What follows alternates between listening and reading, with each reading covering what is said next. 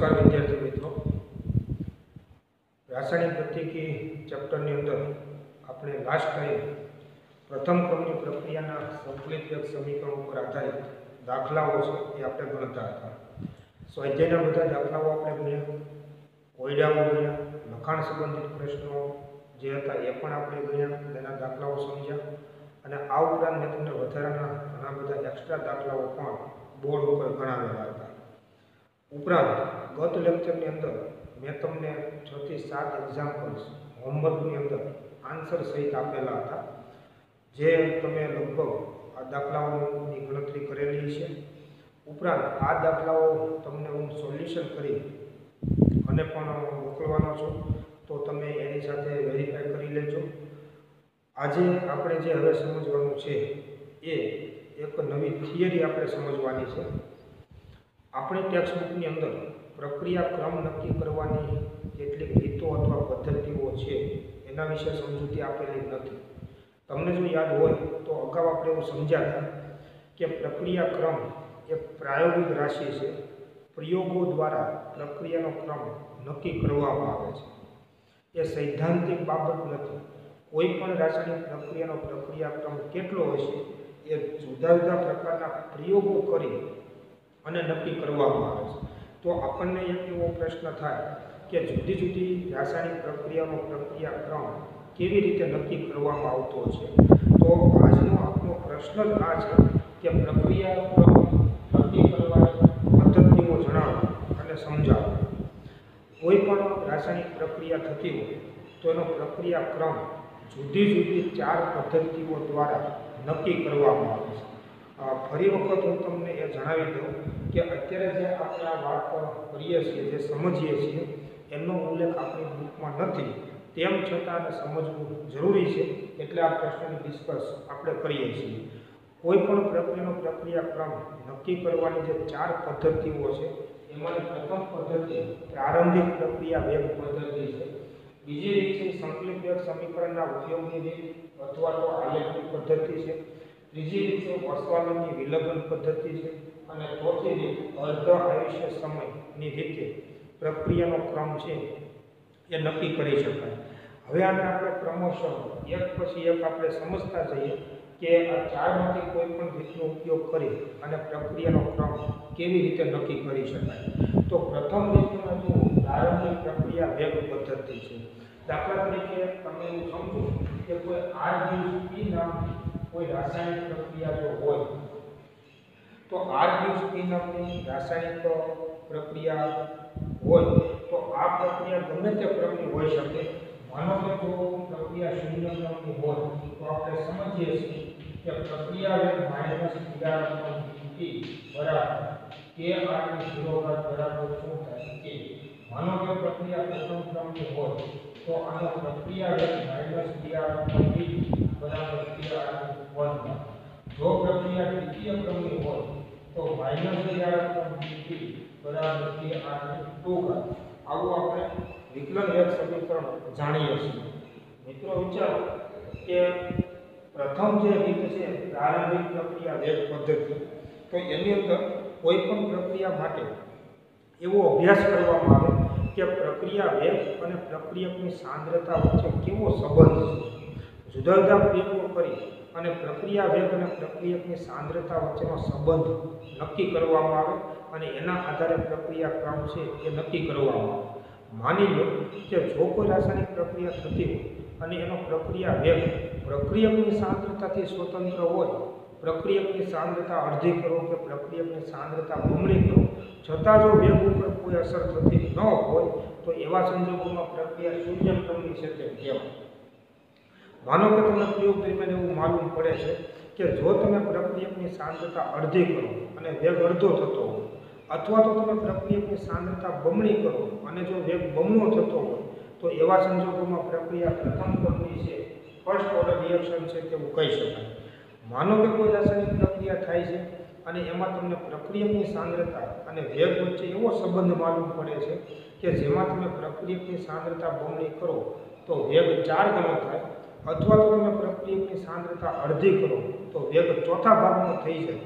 જો આવો સંબંધ માલુમ પડે, તો એવા સંજોગોમાં પ્રક્રિયા દ્વિતીય ક્રમની છે સેકન્ડ ઓર્ડર રિએક્શન છે તેવું કહી શકાય. એટલે પહેલી જે રીત છે પ્રારંભિક પ્રક્રિયા વેગ પદ્ધતિ, એના દ્વારા પ્રક્રિયાનો ક્રમ નક્કી કરવો, એનો મતલબ જુદા જુદા સમયે પ્રક્રિયા વેગ અને પ્રક્રિયકની સાંદ્રતા વચ્ચેનો સંબંધ નક્કી કરી, જાણી પ્રયોગો દ્વારા અને જે તે પ્રક્રિયાનો પ્રક્રિયા ક્રમ છે એ નક્કી કરવામાં આવે છે. આ એક બહુ સીધી સાદી રીત અને પદ્ધતિ છે કે જેમાં પ્રારંભિક પ્રક્રિયા વેગ પદ્ધતિ, એનો મતલબ તમે વિચારો કે કોઈ પણ એક સમય પ્રક્રિયાનો વેગ અને તે જ સમયે પ્રક્રિયકની સાંદ્રતા વચ્ચે કેવો સંબંધ છે, એ પ્રયોગો દ્વારા નક્કી કરી અને પ્રક્રિયા ક્રમ છે એ નક્કી કરવામાં આવે છે. વિજ્ઞાન વેગ સમીકરણની મદદથી. એટલે કે જો પ્રક્રિયા વેગ પ્રક્રિયકની સાંદ્રતાથી સ્વતંત્ર હોય, તો પ્રક્રિયા શૂન્યક્રમની હોય. પ્રક્રિયકની સાંદ્રતા બમણી કરો અને વેગ બમણો થતો હોય, અડધી કરો અને વેગ અડધો થતો હોય, તો પ્રક્રિયા પ્રથમ ક્રમની છે તેમ કહેવાય. જો તમે પ્રક્રિયકની સાંદ્રતા બમણી કરો અને વેગ ચાર ગણો થતો હોય, સાંદ્રતા અડધી કરો અને વેગ ચોથા ભાગનો થતો હોય, તો પ્રક્રિયા દ્વિતીય ક્રમની છે તેમ કહી શકાય. એટલે આવી રીતે સૌથી સાદામાં સાદી રીત એ પ્રારંભિક પ્રક્રિયા વેગ પદ્ધતિ છે કે જેમાં પ્રક્રિયકની સાંદ્રતા અને પ્રક્રિયા વેગ વચ્ચેનો સંબંધ નક્કી કરી અને પ્રક્રિયાનો ક્રમ જે છે એ નક્કી કરવામાં આવે છે. પ્રક્રિયાને નક્કી કરવા માટેની બીજી રીત એ ખૂબ મહત્વની રીત છે અને જે છે સંકલિત વેગ સમીકરણના ઉપયોગની રીત છે અથવા તો આલેખની પદ્ધતિ છે. તમે મિત્રો વિચારો કે આપણે શૂન્ય ક્રમની પ્રક્રિયા અને પ્રથમ ક્રમની પ્રક્રિયાના સંકલિત વેગ સમીકરણને આપણે સમજ્યા તો એનો ઉપયોગ કરવાનો. દાખલા તરીકે તમે શૂન્ય ક્રમની પ્રક્રિયા માટે તમે વિચારો. તો શૂન્ય ક્રમની પ્રક્રિયા માટે આપણે સમજ્યા છે કે શૂન્ય ક્રમની પ્રક્રિયા માટે સંકલિત વેગ સમીકરણ શું હતું?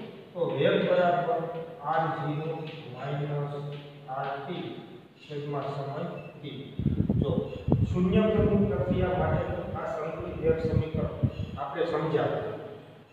હવે આ સંકલિત વેગ સમીકરણની અંદર જુદા જુદા સમયે પ્રક્રિયકની સાંદ્રતા RT અથવા તો R મૂલ્ય મૂકવા. સામાન્ય રીતે કોઈ રાસાયણિક પ્રક્રિયાનો પ્રક્રિયા ક્રમ જો આપણે નક્કી કરવો હોય, તો જુદા જુદા સમયે આપણે પ્રક્રિયકની સાંદ્રતા છે એ જાણતા હોવા જોઈએ. એના માટે પ્રયોગ કરવો માનો બરાબર 0 સમય પ્રક્રિયકની સાંદ્રતા R0 છે t1 સમય પ્રક્રિયકની સાંદ્રતા R1 t2 સમય પ્રક્રિયકની સાંદ્રતા R2 T3 સમય પ્રક્રિયકની સાંદ્રતા R3 અને T4 સમય પ્રક્રિયકની સાંદ્રતા R4 વગેરે છે જુદા જુદા સમય. તમે જો પ્રક્રિયકની સાંદ્રતા તમે જાણતા હો, અને હવે એના માટે પ્રયોગ કરવો પડે. કે એવી ઘણી બધી રીતો કે પદ્ધતિઓ છે કે જેનો ઉપયોગ કરી અને પ્રક્રિયા મિશ્રણમાં તમે પ્રક્રિયકની સાંદ્રતા જાણી શકો અને જુદા જુદા સમયે પ્રક્રિયકની સાંદ્રતા R1 R2 R3 R4 એ પ્રયોગ કરીને નોંધવા ત્યારબાદ શૂન્ય પ્રકૃત પ્રક્રિયા સંકલિત સમીકરણમાં તેની કિંમત મૂકવાની. તમે મિત્રો વિચારો કે R0 તો હંમેશા અચળ હોય છે. જુદા જુદા સમયે તમારે R ની વેલ્યુ મૂકવાની. માનો કે T1 સમય એટલે ત્યારે R1 મૂકો T2 સમયે R2 ની કિંમત મૂકો T3 સમયે R3 T4 સમયે R4 આવી કિંમત તમે મૂકતા જાઓ અને સાદુરૂપ આપો અને જો તમને અચળાંક કેનું મૂલ્ય અચળ મળે, તો એવા સંજોગોમાં પ્રક્રિયા શૂન્ય ક્રમની છે તેમ કહેવાય જુદા જુદા સમયે પ્રક્રિયાની સાંદ્રતા આનું મૂલ્ય તમે મૂકી દો આ સૂત્રમાં. સાદુરૂપ આપો અને બે અચળાંક કેનું મૂલ્ય તો અચળ મળે. તો પ્રક્રિયા શૂન્ય ક્રમની છે તેમ કહી શકાય. કારણ કે આ વેગ અચળાંક છે. એટલે કે પ્રક્રિયાના કોઈ પણ સમયે વેગ સાથે એનું કેનું મૂલ્ય બદલાતું નથી. અને આપણે અગાઉ કીધું છે કે વેગ અચળાંક તેના મૂલ્યનો આધાર પ્રક્રિયકની સાંદ્રતા ઉપર હોતો નથી. એટલે કોઈ પણ સમયે પ્રક્રિયકની સાંદ્રતા તેના આરની કિંમત મૂકો સાદું જો તમને કેનું મૂલ્ય અચળ મળે, તો આ સંબંધો કે શૂન્યક્રમની પ્રક્રિયાના સંકલિત વેગ સમીકરણનું પાલન થાય છે તેમ કહેવાય? અને તો એવા સંજોગોમાં પ્રક્રિયા શૂન્યક્રમની છે તેમ કહેવાય. માની લો કે તમે જુદા સમયે આરનું મૂલ્ય એને મૂક્યું સાદુરૂપ આપ્યું, અને વેગ તેનું મૂલ્ય અચળ નથી મળતું, તો આ સંજોગનું પાલન ન થયું તેમ કહેવાય. અને એવા શબ્દોમાં પ્રક્રિયા શૂન્ય નથી તેમ કહેવાય. અને તો પછી પ્રથમ ક્રમની પ્રક્રિયાના સંકેતક સમીકરણમાં કિંમત મૂકવા.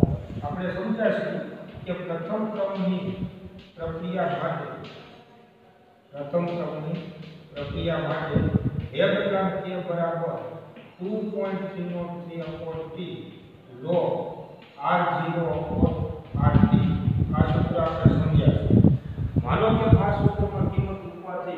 મૂકવાથી તેનું મૂલ્ય અચળ મળતું નથી, તો પ્રથમ ક્રમની પ્રક્રિયાના સંકલિત સમીકરણમાં જુદા જુદા સમય આરનું મૂલ્ય મૂકવાનું. E1 સમય R1 લેવાનું E2 સમય R2 E3 સમય R3 E4 સમય R4 આમ કિંમત મૂકી સાદુરૂપ આપવાનું. અને જો તમને તેનું મૂલ્ય અચળ મળે તો પ્રથમ ક્રમની પ્રક્રિયાના સંકલિત વેગ સમીકરણનું પાલન થાય છે તેમ કહેવાય અને એવા સંજોગોમાં પ્રક્રિયા પ્રથમ ક્રમની છે તેમ કહી શકાય. એટલે સંકલિત વેગ સમીકરણના ઉપયોગની રીતમાં શું છે? તો કે કયા સમીકરણનું પાલન થાય છે? એટલામાં ક્રમની પ્રક્રિયા કહી શકાય. જુદા જુદા સમીકરણને કોઈ પણ આવા સંબંધોનું પ્રક્રિયાની સાંદ્રતાની કિંમત મૂકી સાદું આપો અને જેના માટે વેગવત્રાવ તેનું મૂલ્ય અચળ મળે તેટલામાં ક્રમની પ્રક્રિયા છે, એ કહી શકાય. માની લો કે તમે આમાં જ બધા સમય પ્રક્રિયાની સાંદ્રતાની કિંમત મૂકો છો અને વેગવત્રાવ તેનું મૂલ્ય અચળ મળતું નથી, તો હવે દ્વિતીય ક્રમની પ્રક્રિયા સંકલિત સમીકરણમાં કિંમત મૂકી જોવાની. સાદુરૂપ આપવાની અને એમાં જો વેગવત્રાવ તેનું મૂલ્ય અચળ મળે, તો પ્રક્રિયા દ્વિતીય ક્રમની છે તેમ કહી શકાય. પણ દ્વિતીય ક્રમની પ્રક્રિયાનું સંકલિત સમીકરણ આપણે સમજ્યા નથી, એટલે એની આપણે અત્યારે વાત કરતા નથી. તો આવી રીતે કોઈ પણ ક્રમની પ્રક્રિયાના સંકલિત સમીકરણનો ઉપયોગ કરી અને વેગવત્રાવ તેનું મૂલ્ય જો અચળ મળે, તો એ સંકલિત સમીકરણનું પાલન થાય છે તેમ કહેવાય. અને તે ક્રમની પ્રક્રિયા છે તેમ કહી શકાય. એટલે બીજી રીત એ છે કે સંકલિત વેગ સમીકરણના ઉપયોગની રીત છે. આમાં આપણને લો કે કિંમતો મૂકી અને જો આપણે એની ગણતરી ન કરવી હોય, તો અથવા બીજી રીતે આલેખની પદ્ધતિ છે કે આમાં વાય બરાબર એમએચ પ્લસ સી સ્વરૂપમાં રૂપાંતર કરવાનું અને વાય નો ગ્રાફ દોરવાનો દાખલા તરીકે શૂન્ય ક્રમની પ્રક્રિયાનું આ જે સંકલિત સમીકરણ છે. એનું વાય બરાબર એમએચ પ્લસ સી સ્વરૂપ કેવું હતું? તો કે આર બરાબર માઇનસ એફી પ્લસ આર જી આવું તમને ખ્યાલ છે. અને આ જે છે, એ વાય બરાબર mx પ્લસ સી સ્વરૂપનું સમીકરણ છે. Mx પ્લસ સી સ્વરૂપ. છે. જો તમારે આ કિંમતો મૂકી અને સાદુરૂપ ન આપવું હોય, તો આને વાય બરાબર mx પ્લસ સી સ્વરૂપમાં ફેરવવાનું અને વાય વિરુદ્ધ એક્સનો ગ્રાફ દોરવું એટલે પ્રક્રિયકની સાંદ્રતા આ વિરુદ્ધ સમય ટીનો ગ્રાફ દોરવાનો. તો પ્રક્રિયકની સાંદ્રતા આ વિરુદ્ધ સમય t નો તમે ગ્રાફ દોરશો. તો અહીંયા આપણે જુદા જુદા સમય r ની કિંમત લેવાની. માની લો કે તમે t1 સમય r1 લો t2 સમય r2 t3 સમય r3 t4 સમય r4 વગેરે. જુદા જુદા સમયે પ્રક્રિયકની સાંદ્રતા r ની કિંમત તમે મૂકો, આલેખ પત્ર તમે લો, અને જો તમે આ બધા બિંદુઓને જોડો અને ઋણભાગ ગ્રાફની સીધી રેખા મળે તો પ્રક્રિયા શૂન્ય ક્રમની છે તેમ કહેવાય ખાસ સમજો કે જો પ્રક્રિયકની સાંદ્રતા વિરુદ્ધ સમય કિંમતો તમે આલેખ દોરો અને એ આલેખ ઋણ ઢાળ ધરાવતી સીધી રેખા જો મળે, તો પ્રક્રિયા શૂન્ય ક્રમની છે તેમ કહી શકાય. કેમ કે આમાં પ્રક્રિયકની સાંદ્રતા આ સમિતિનો ગ્રાફ ઋણ ઢાળ ધરાવતી સીધી રેખા તો જ મળે કે જો આ સંબંધનું પાલન થતું હોય તો. અને એટલા માટે માનો કે આ સંકેતક સમીકરણમાં કિંમત મૂકી અને ગણતરી ન કરવી હોય તો અથવા બીજી રીત છે આલેખની પદ્ધતિ છે કે પ્રત્યેકનું સ્થાન તથા વિરુદ્ધ સમયનો ગ્રાફ દોરવાનો અને જો એ ઋણ ઢાળ ધરાવતી સ્થિતિને રેખા મળે, તો પ્રક્રિયા શૂન્ય ક્રમની છે તેમ કહેવાય. આનો ઢાળ કેટલો? તો કે ઢાળ એમ જેટલો અને એમના સ્થાને માઇનસ કે છે, તો ઢાળ હશે માઇનસ કે જેટલો. આને તમે વાય અક્ષ સુધી તમે લંબાવશો એટલે આપણને આંતરછેદ મળશે. અને આંતરછેદનું મૂલ્ય અથવા સી જેટલું, મતલબ આર જેવો જેટલું થશે. તો પ્રક્રિયકની સાંદ્રતા વિરુદ્ધ સમજનો તમે ગ્રાફ દોરો અને ઋણ ઢાળ પ્રાપ્તિ સીધી રેખા મળે તો પ્રક્રિયા શૂન્ય ક્રમની છે તેમ કહેવાય. માની લો કે પ્રક્રિયકની સાંદ્રતા આર વિરુદ્ધ સમયથીનો તમે ગ્રાફ દોરો છો અને ઋણ ઢાળ પ્રાપ્તિ સીધી રેખા મળતી નથી. માનો કે અહીંયા મળે છે અહીંયા મળે અહીંયા મળે અહીંયા મળે. આમ જુદા જુદા સ્થાન પર બિંદુઓ મળે. એ બધાને તમે જોડો તો સીધી રેખા નહીં મળે. જો પ્રક્રિયાની સાંદ્રતા વિરુદ્ધ સમયથીનો તમે ગ્રાફ દોરો અને ઋણ ઢાળ ગ્રાફથી સીધી રેખા ન મળે, તો શૂન્ય ક્રમની પ્રક્રિયા કહી શકાય નહીં. તો પછી પ્રથમ ક્રમની પ્રક્રિયા સંકલિત એક સમીકરણને વાય બરાબર mx c સ્વરૂપમાં ફેરવવા.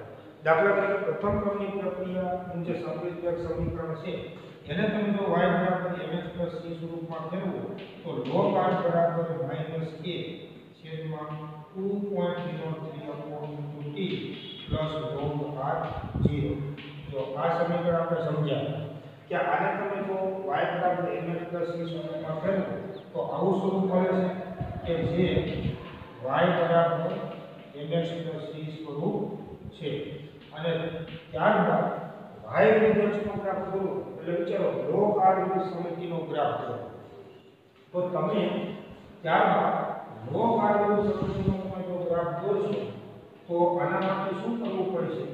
તો આના માટે જે આપણને પ્રક્રિયાની સાંદ્રતાઓ આપેલી છે, એ બધાનો લોગેરિધમ લેવાનો.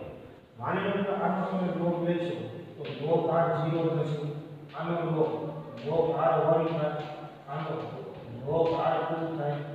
આનો જે લોગ r 3 થાય આનો જે લોગ r 4 થાય અને ત્યારબાદ લોગ r વિરુદ્ધ સમયનો ગ્રાફ દોરો ધારો કે t1 સમય t1 સમય log r વર્ગ કહેવાય તો આપણે કાંઈ બિંદુ મળશે t2 સમય log r છે બીજું બિંદુ મળશે t3 સમય log r છે બીજું બિંદુ મળશે t4 સમય log r વગેરે એટલે log r વિરુદ્ધ સમયનો તમે ગ્રાફ દોરો અને એને તમે બધા બિંદુઓને જોડો અને જો એ ઋણ ઢાળ ધરાવતી સીધી રેખા મળે ઋણ ઢાળ ધરાવતી સીધી રેખા મળે તો પ્રથમ ક્રમની પ્રક્રિયા છે તેમ કારણ કે log આ નિયમ સમયથી આ સમીકરણ તમે y mx c સાથે સરખાવો છો, તો y mx c શું? યાદ કરો, સીધી રેખાનું સમીકરણ છે.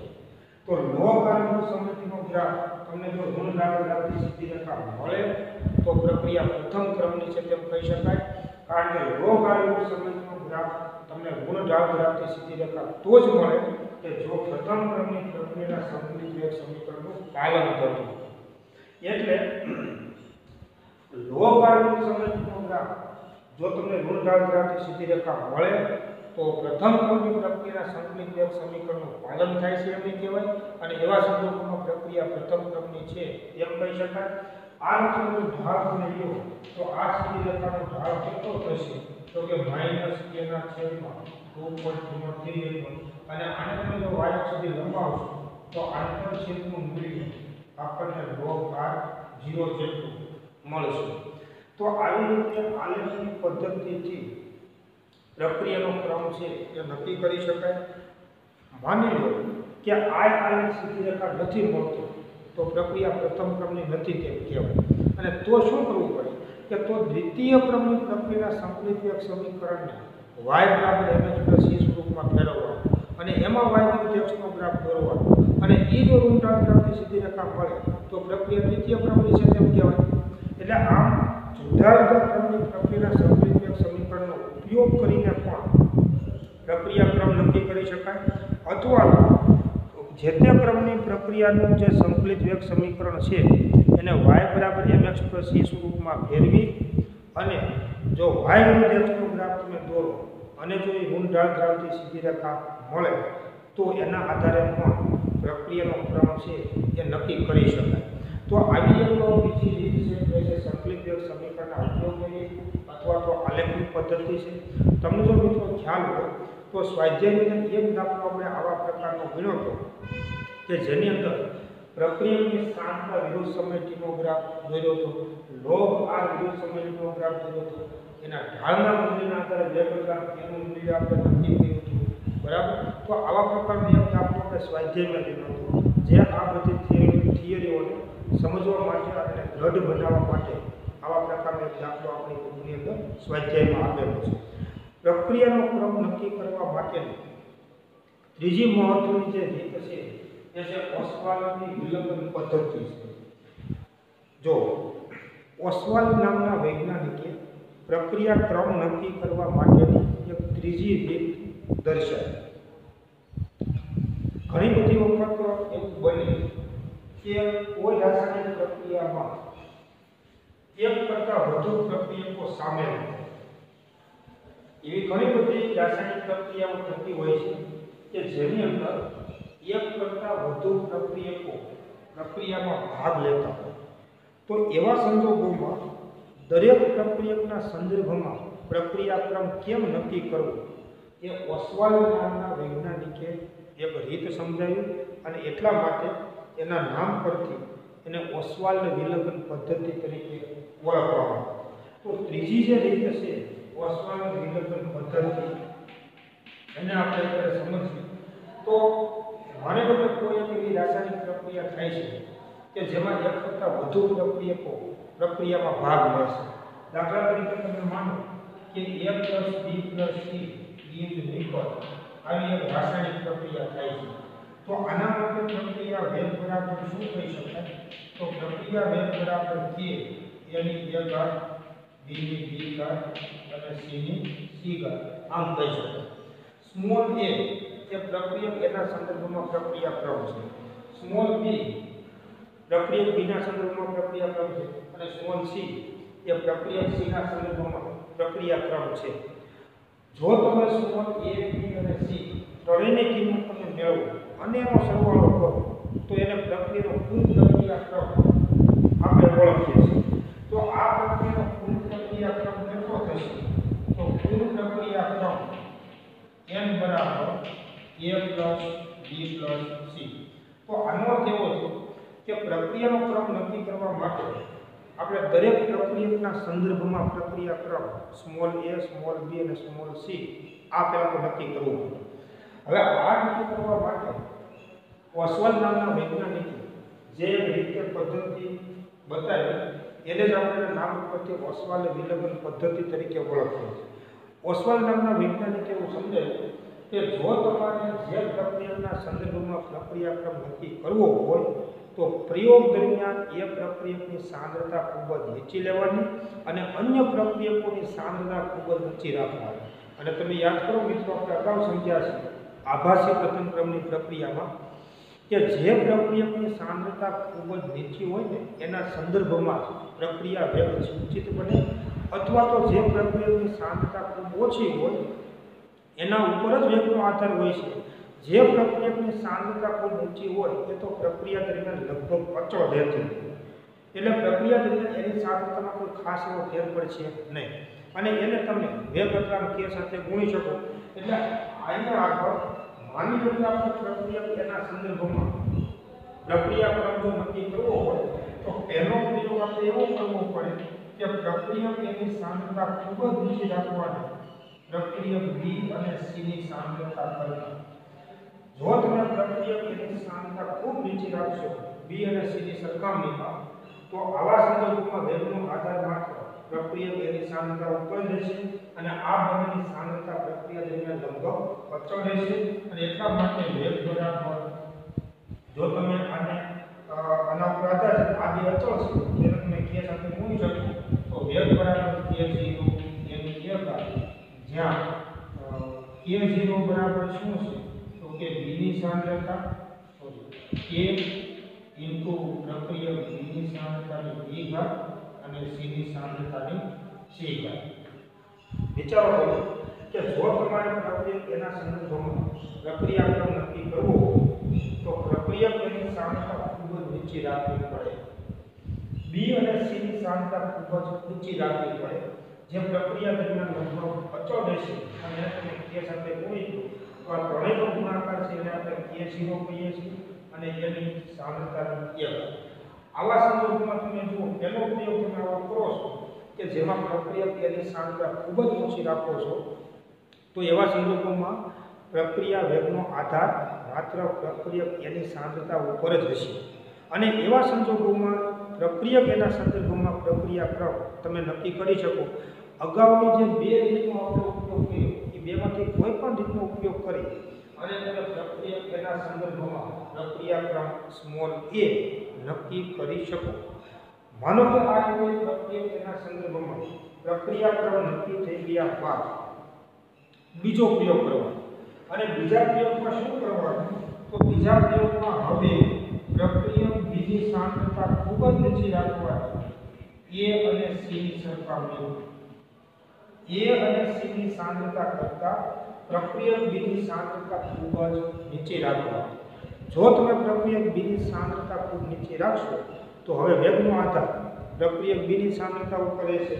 અને એટલા માટે એ અને સી ની સાંદ્રતા લગભગ પ્રક્રિયા દરમિયાન અચળ રહેશે અને એને આ પ્રકાર સાથે ગુણી શકાય. તો વેગ બરાબર શું થાય? તો L બરાબર k0 b ની, b ભાગ જ્યાં k0 બરાબર k, a ની a ઘાત અને c ની c ભાગ તો હવે તમે જુઓ કે પ્રક્રિયા વેગનો આધાર માત્ર ને માત્ર પ્રક્રિયા બીજી સાંદ્રતા ઉપર જ રહેશે. તો વળી પાછી અગાઉની બંને રીતનો ઉપયોગ કરી અને પ્રક્રિયા બીના સંદર્ભમાં પ્રક્રિયા કરો સ્મોલ બી ની ગણતરી કરી શકાય. ત્રીજા પ્રયોગમાં શું કરવાનું? તો ત્રીજા પ્રયોગની અંદર પ્રક્રિયક સીની સાંદ્રતા ખૂબ જ નીચે રાખવાની.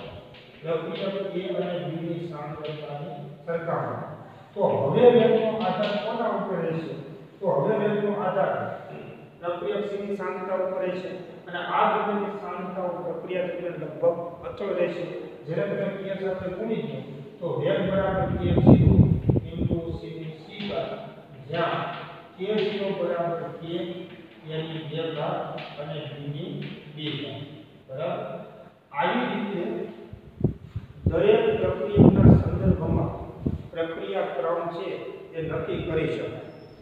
વારા પરથી કોઈ એક પ્રક્રિયકના સંદર્ભમાં પ્રક્રિયા ક્રમ જો આપણે નક્કી કરવો હોય, તો જે પ્રક્રિયકના સંદર્ભમાં પ્રક્રિયા ક્રમ નક્કી કરવો હોય એની સાંદ્રતા ખૂબ જ નીચી રાખવામાં આવે, અન્ય પ્રક્રિયકોની સરખામણીએ.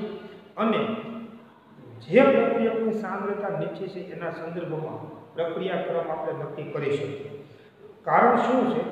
તો રાસાયણિક પ્રક્રિયામાં જે પ્રક્રિયકની સાંદ્રતા ખૂબ જ ઓછી હોય, તેના સંદર્ભમાં પ્રક્રિયા વેગ સૂચિત બને છે, અથવા તો જે પ્રક્રિયકની સાંદ્રતા ખૂબ જ નીચી હોય, એના ઉપર જ પ્રક્રિયા વેગનો આધાર રહેલો હોય છે અને એટલા માટે એ પ્રક્રિયકના સંદર્ભમાં તમે પ્રક્રિયા વેગ એ નક્કી કરી શકો.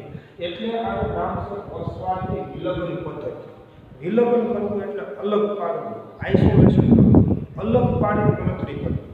જો કોઈ એક પ્રક્રિયકને અન્ય પ્રક્રિયકથી સાંદ્રતાની બાબતમાં જુદું પાડી અને પ્રક્રિયાક્રમ નક્કી કરવામાં આવે છે.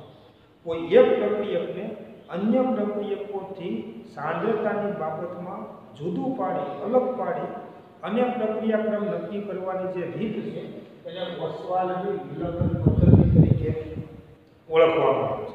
તો આવી રીતે વારાફરતી સ્મોલ એ સ્મોલ બી અને સ્મોલ સી એટલે કે દરેક પ્રક્રિયકના સંદર્ભમાં પ્રક્રિયાક્રમ નક્કી કર્યા બાદ જો તમે એનો સરવાળો કરશો, તો આપણને કુલ પ્રક્રિયા ક્રમ મળશે અને આ કુલ પ્રક્રિયા ક્રમનું મૂલ્ય જેટલું મળે એટલામાં ક્રમની પ્રક્રિયા છે તેમ કહી શકાય.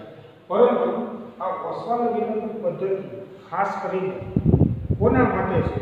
તો ઘણી બધી રાસાયણિક પ્રક્રિયાઓમાં જ્યારે એક કરતાં વધુ પ્રક્રિયાઓ સામેલ હોય એવા સંજોગોમાં ઓસ્વાલ વિલંબન પદ્ધતિનો ઉપયોગ કરવામાં આવે છે અને દરેક પ્રક્રિયાના સંદર્ભમાં પ્રક્રિયા ક્રમ છે એ નક્કી પણ કરવામાં આવે છે અતિ મહત્વની ચોથી રીત જે છે, પ્રક્રિયા ક્રમ નક્કી કરવા માટેની એ છે સમયની પદ્ધતિ છે. મિત્રો, તમે વિચારો, કે ટી વનના અર્ધ આયુષ્ય સમય આપણે કોને કહીએ છીએ, એ તમે ખૂબ સારી રીતે જાણો છો. અર્ધ આયુષ્ય સમયનો ઉપયોગ કરી અને પ્રક્રિયાનો ક્રમ નક્કી કરવાની આ ચોથી જે રીત કે પદ્ધતિ છે, એ પણ ખૂબ મહત્વની છે. આપણે એવું સમજ્યા છે કે કોઈ પણ રાસાયણિક પ્રક્રિયા પચાસ ટકા પૂર્ણ થવા માટે લાગતા જરૂરી સમય અર્ધ આયુષ્ય સમય તરીકે આપણે ઓળખીએ છીએ. અથવા આપણે એવું કહી શકીએ કે પ્રક્રિયકની મૂળ સાંદ્રતા ઘટીને અડધી થવા માટે લાગતા જરૂરી સમય અર્ધ આયુષ્ય સમય તરીકે ઓળખવામાં આવે છે. તો તમે શૂન્ય ક્રમની પ્રક્રિયા અને પ્રથમ ક્રમની પ્રક્રિયાનો અર્ધ આયુષ્ય સમય માટે આપણે સંબંધો અને સૂત્રો આપણે સમજ્યા છે.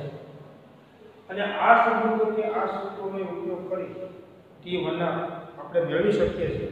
પણ અત્યારે પ્રક્રિયાના અર્ધ આયુષ્ય સમયની મદદથી આપણે પ્રક્રિયાક્રમ પ્રક્રિયા ક્રમ છે એ નક્કી કરવાનો છે. તો કોઈ રાસાયણિક પ્રક્રિયા મનોતર થતી હોય, તો એ રાસાયણિક પ્રક્રિયામાં સાંદ્રતા વિરુદ્ધ સમયનો આલેખ દોરવા કે કોઈ રાસાયણિક પ્રક્રિયા માનવને થતી હોય, તો એ રાસાયણિક પ્રક્રિયા માટે પ્રક્રિયકની સાંદ્રતા વિરુદ્ધ સમયનો આલેખ દોરવામાં આવે છે. અહીંયા આપણે સાંદ્રતા લઈએ છીએ અને વાય અક્ષ ઉપર આપણે એક્સ અક્ષ ઉપર આપણે એનો સમય લઈએ છીએ સાંદ્રતા વિરુદ્ધ સમયનો જો તમે આલેખ દોરો તો એ આલેખ તમે યાદ કરો આપણને આ પ્રકારનો વક્ર આલેખ મળે છે વક્ર આલેખ બરોબર અહીંયા આગળ R0 એટલે કે પ્રક્રિયકની મૂળ સાંદ્રતા છે પ્રક્રિયકની મૂળ સાંદ્રતા ઘટી અડધી થવા માટે લાગતો જે જરૂરી સમય છે, એને આપણે T1 આપીએ. એટલે માની લો કે અહીંયા આગળ R0 બાય ટુ થઈ તો આને T1 ના કહેવાય માની લો કે હજી આના કરતા ઘટના અડધી થવા માટેનો જે સમય છે, એને બીજો T1 ના કહેવાય એટલે ધારો કે આ સમય પ્રક્રિયાની મૂળ સાંદ્રતા ઘટીને એના કરતા અડધી એટલે આનું અડધું એટલે R0 બાય 4 તો એને એનો T1 ના કહેવાય બરોબર સમજો આ પણ T1 આપશું પણ આ T1 ના 1 છે? આ T1 ના 2 છે. માનો કે જે આનું થાય છે, એટલે કે ધારો કે R0 બાય 8 થાય છે. તો R0 બાય 8 થવા માટેનો સમય છે. એને T1 ના કહેવાય, અને એના T1 ના T કહીએ. T1 ના કહીએ હજી આનો અડધું થવા માટેનો સમય. એને માની લો કે આપણે R0 બાય 100 કહીએ. R0 બાય 100 તો આના કરતા અડધો આ સમય છે તો એ પણ T1 ના છે એટલે T1 નાની વ્યાખ્યા તમે જુઓ T1 નાની વ્યાખ્યા વિચારો કે પ્રક્રિયકની મૂળ સાંદ્રતા ઘટીને અડધી થવા માટે લાગતા જરૂરી સમય અર્ધ આયુષ્ય સમય હવે તમે મૂળ સાંદ્રતા ક્યાંથી ગુણો છો? એના ઉપર આધાર છે માન્ય કે આપણે મૂળ સાંદ્રતા આ જીવો આપણે કીધી. અને એવું તમે મને સમજો કે વિચારો કે માન્ય કે આ આપણે વીસ મોલારિટી લીધી છે. વીસ મોટા તો વીસમાંથી દસ મોટા થવા માટેનો જે સમય છે, જેને નામ કહેવાય અર્ધ આયુષ્ય સમય કહેવાય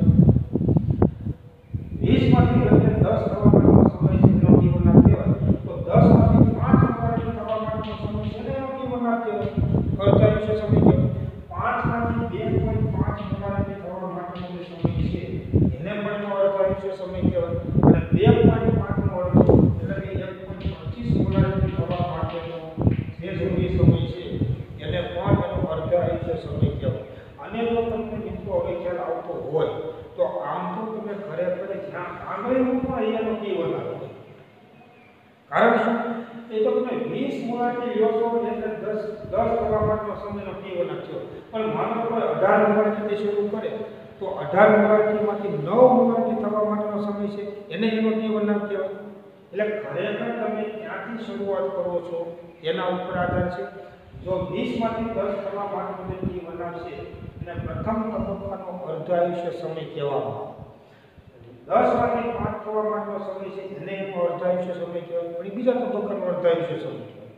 પાંચમાંથી બે પોઈન્ટ પાંચ થવા માટેનો સમય છે, એને એનો અર્ધ આયુષ્ય સમય કહેવાય. પણ એ ત્રીજા તબક્કાનો અર્ધ આયુષ્ય સમય તરીકે ઓળખવામાં આવી. રીતે કોઈ પણ પ્રક્રિયા થતી હોય તો રાસાયણિક પ્રક્રિયામાં તમે વિચારો કે એનો કોઈ પણ એક સમય એ એક એનો અર્ધ આયુષ્ય સમય હતો કારણ કે જ્યાંથી તમે શરૂઆત કરો છો, એના ઉપર એના અર્ધ આયુષ્ય સમયનો આધાર રહેલો અને હવે તમે મિત્રો યાદ કરો કે જો આ અર્ધ આયુષ્ય સમય આપણને અચળ મળતો હોય, તો યાદ કરો પ્રક્રિયા પ્રથમ ક્રમની હોય.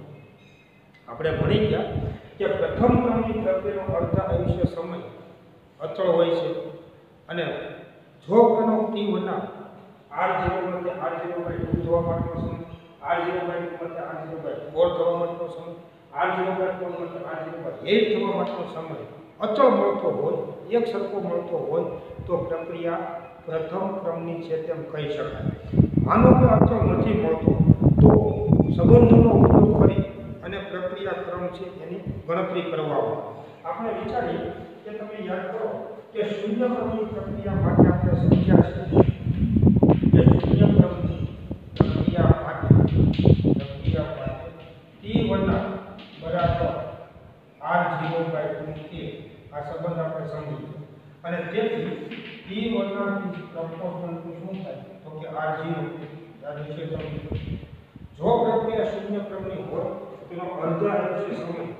પ્રક્રિયકની મૂળ સાંદ્રતાના સમપ્રમાણમાં ખાસ સમજો અર્થ શું છે? કે જો પ્રક્રિયાની સાંદ્રતા ઘટીને અડધી થાય તો એનો અર્ધ આયુષ્ય સમય પણ ઘટીને અડધો થાય. દાખલા તરીકે, માનો કે પ્રક્રિયા શૂન્ય ક્રમની હોય, તો 20 માંથી 10 મિનિટ થવા માટેનો સમય, ધારો કે દસ મિનિટનો સમય લાગતો હોય, તો 10 માંથી 5 થવા માટેનો સમય પાંચ મિનિટ લાગશે. પાંચમાંથી બે પોઈન્ટ પાંચ થવા માટેનો સમય 2.5 મિનિટ લાગશે અને 2.5 માંથી 1.25 મોલારિટી થવા માટેનો સમય 1.25 મિનિટ લાગશે ત્યારે કે જો પ્રક્રિયા શૂન્ય ક્રમની હોય તો શૂન્ય ક્રમની પ્રક્રિયા માટે કેવો સંબંધ છે?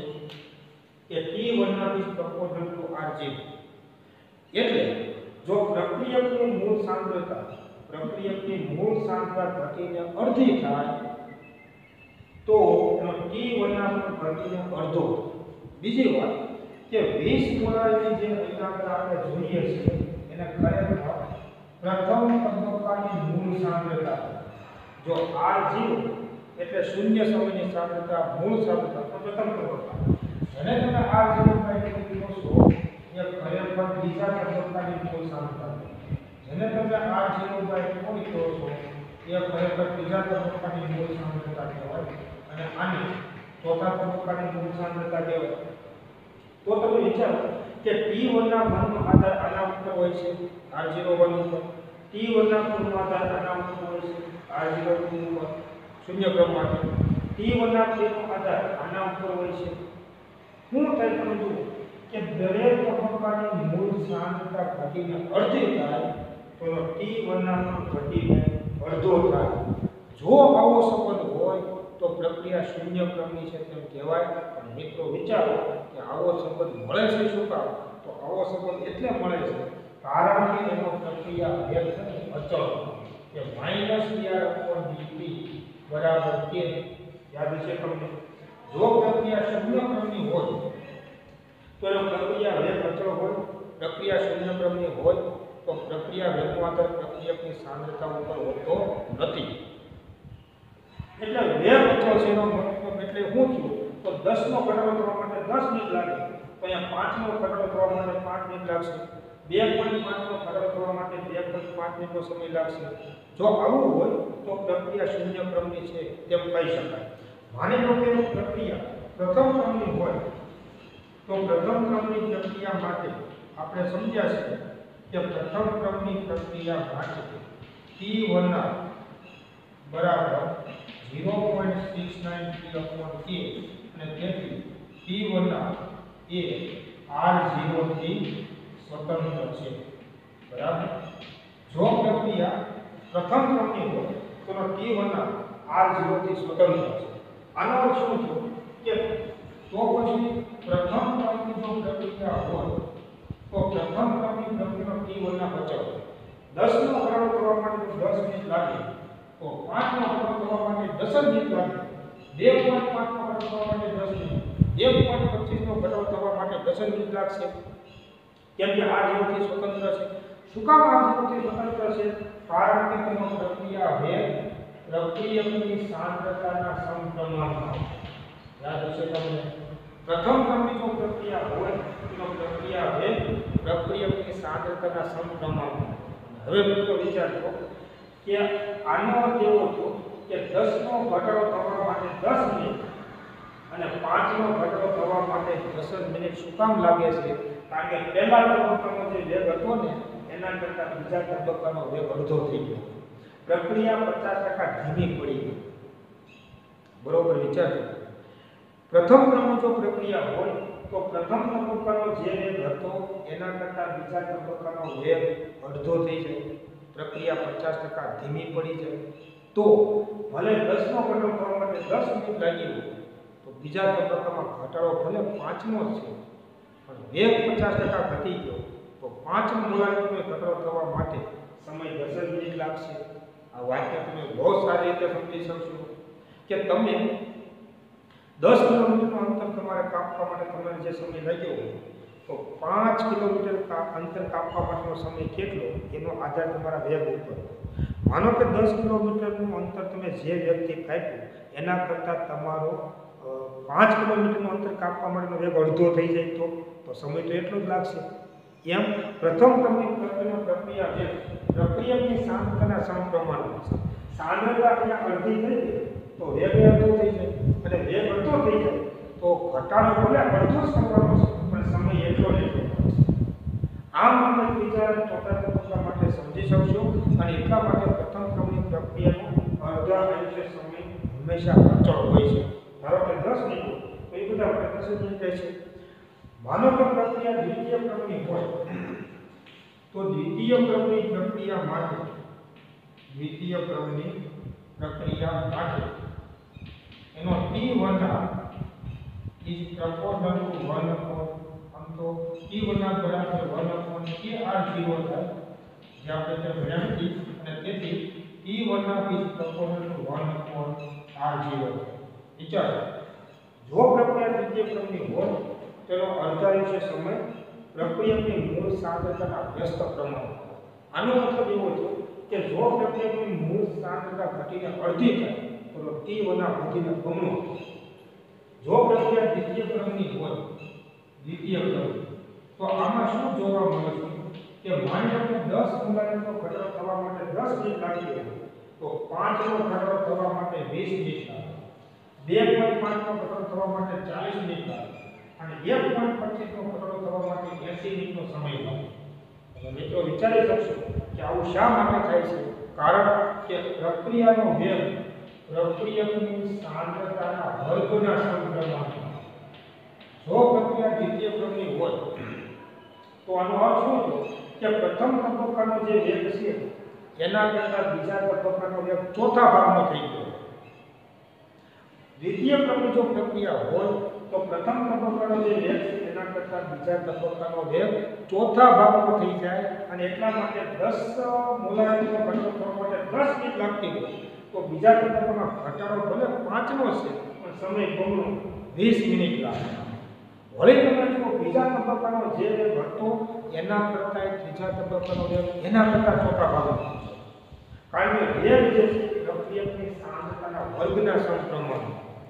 અને એટલા માટે એનો ટી વર્ણન જે છે, એ પ્રક્રિયકની મૂળ સાંદ્રતાના વ્યસ્ત પ્રમાણ. આના ઉપરથી આપણે શું કહી શકીએ? કે વ્યાપક અર્થમાં ધારો કે એન ક્રમની જો પ્રક્રિયા હોય, તે એન ક્રમની પ્રક્રિયા માટે T1 is proportional to 1 upon R0 ની n minus 1 ઘાત. આવો સંબંધ કોઈ પણ પ્રક્રિયા પ્રક્રિયા હોય તો પ્રક્રિયાનો અર્ધાયુષ્ય સમય અને પ્રક્રિયકની મૂળ સાંદ્રતા વચ્ચે કેવો સંબંધ હોય? તો કે ટી વનાની પ્રક્રિયાનું વન અપોન આર જીરોની એન માઇનસ વન આવો સંબંધ હંમેશા માટે આવો સંબંધ હવે તમે જો n પ્રક્રિયા છે. તમે n બરાબર 0 લઈ લો. શૂન્ય ક્રમની જો પ્રક્રિયા હોય તો 1 માઇનસ 1 એટલે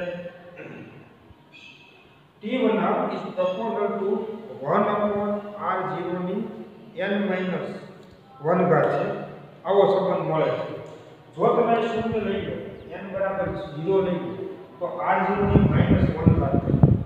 થાય આ ઝીરો માઇનસ અંશમાં આવશે, એટલે પ્લસ થઈ જશે. જોઈ શકો છો કે n બરાબર તમે 0 લો આ સંબંધ. એટલે તમને આ સંબંધ મળી જાય. માનો કે તમે n બરાબર 1 તો 1 1 એટલે 0 અને કોઈ પણ 0 ભાગ્યા 1 તો t1 આપણે આ જોતે સૂત્ર કરશું.